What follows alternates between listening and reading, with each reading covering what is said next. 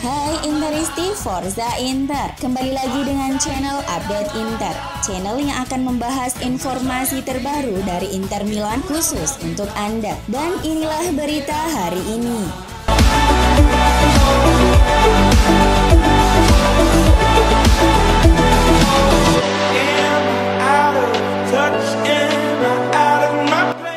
Bulan Januari dan dua pekan pertama Februari menjadi periode yang sibuk dan sangat menentukan bagi Inter untuk menjadi juara Serie A musim 2021-2022.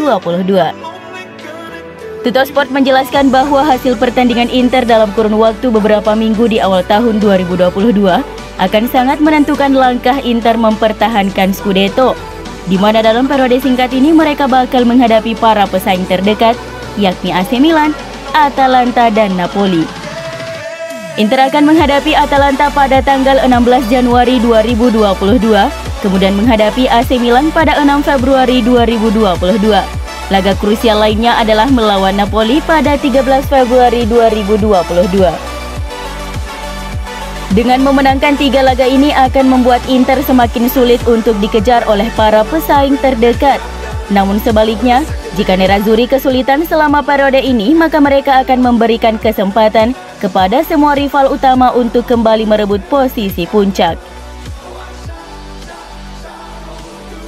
Saat ini persaingan di papan atas semakin memanas setelah Inter berhasil mengambil alih puncak klasmen sementara Serie A. Inter saat ini mengoleksi 40 poin unggul satu angka dari AC Milan di posisi kedua. Sedangkan posisi ketiga dan keempat dihuni oleh Atalanta dengan 37 poin dan Napoli dengan 36 poin.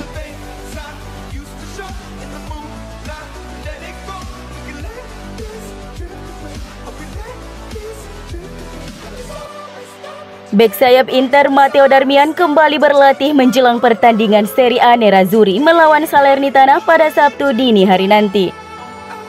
Sky Sport Italia yang melaporkan bahwa pemain berusia 31 tahun itu hampir pulih dari cedera pahanya, namun masih harus dilihat apakah dia akan siap untuk berada di skuad untuk menghadapi Salernitana.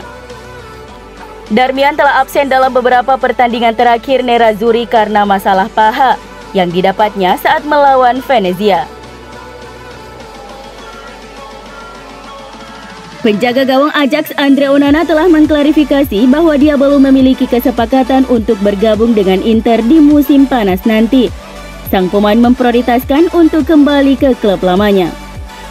Berbicara kepada outlet berita Spanyol Diario Sport, pemain Kamerun itu menjelaskan bahwa dia belum memutuskan masa depannya meskipun dia tidak mengesampingkan kepindahan ke Nerazzurri di tengah laporan luas bahwa kesepakatan sudah hampir rampung. Andre Onana dipastikan bakal meninggalkan Ajax ketika kontraknya usai pada musim panas 2022 mendatang. Ia pun mengaku ingin membela Barcelona pada musim 2022-2023 nanti. Saya masih menjalin kontak dengan Barca. Saya tetap menjaga hubungan baik dengan mereka semenjak pergi pada 2015 lalu. Barca adalah rumah saya dan saya selalu menghubungi mereka. Jelas Onana kepada Diario Sport. Apakah mereka menjadi pilihan pertama saya? Tentu saja karena saya besar di sana. Jika Barca tertarik, maka saya akan senang hati datang ke sana. Imbuh pria berumur 25 tahun itu.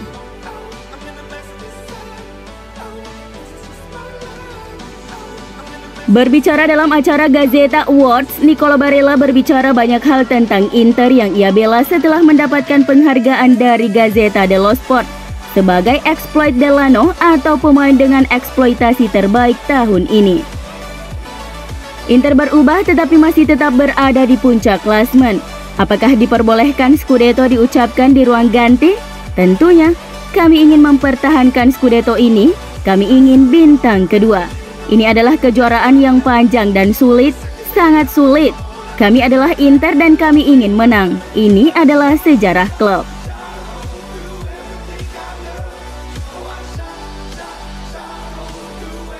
Jurnalis Italia Perlugi Pardo menilai bahwa Denzel Dumfries mulai menunjukkan performa terbaiknya akhir-akhir ini ketika menggantikan peran Darmian yang absen karena cedera.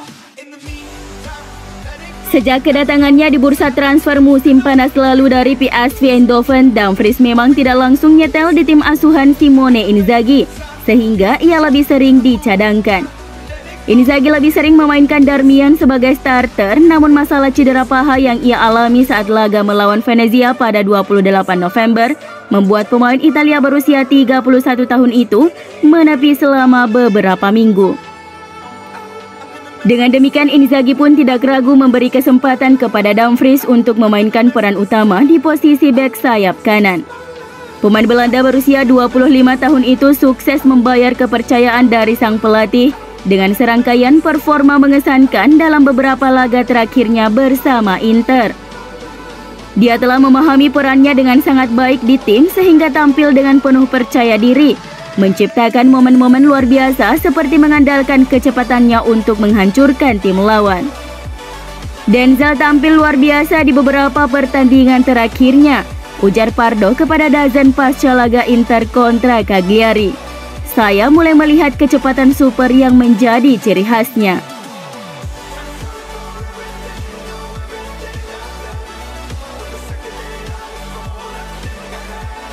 Tampaknya masa depan Christian Eriksen akan segera terlihat jelas dan ia akan meninggalkan Nerazzurri pada akhirnya. Kondisi kesehatan si pemain memang perlahan telah mulai kembali normal seperti orang pada umumnya, tetapi sebagai seseorang profesional fisiknya sudah diragukan kembali ke kompetisi seketat Serie A.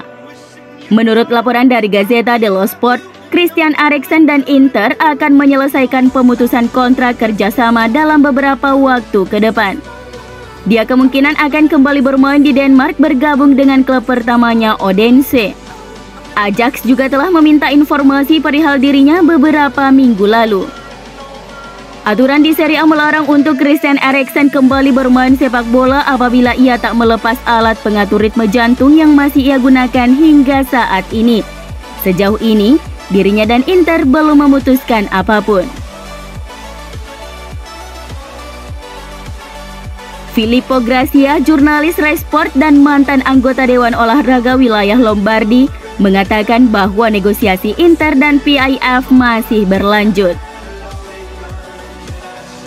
Saat diwawancarai oleh calciomercato.it, Gracia membenarkan rumor yang telah beredar selama berbulan-bulan ini tentang kemungkinan pindahnya Inter dari Suning ke PIF. Negosiasi antara Inter dan PIF Saudi telah berlangsung selama beberapa minggu, tetapi dari apa yang saya pahami, negosiasi telah dipercepat dalam beberapa hari terakhir sehingga mungkin keluarga Zhang dapat menerima tawaran dari PIF. Saya pikir operasi ini tidak tergantung pada negosiasi pasar, hal ini berjalan dengan sendirinya. Ini penting karena ada angka yang mendekati 1 miliar euro. Ia juga menjelaskan bahwa bukan hanya PIF satu-satunya yang mendekati Inter, namun ada perusahaan besar Amerika yang juga berniat mengakuisisi Nerazzurri. Namun ia masih merahasiakan nama perusahaan yang dimaksud.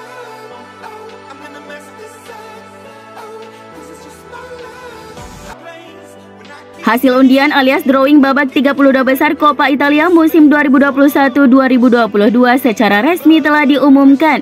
Kejuaraan ini mulai bergulir pada pekan ini.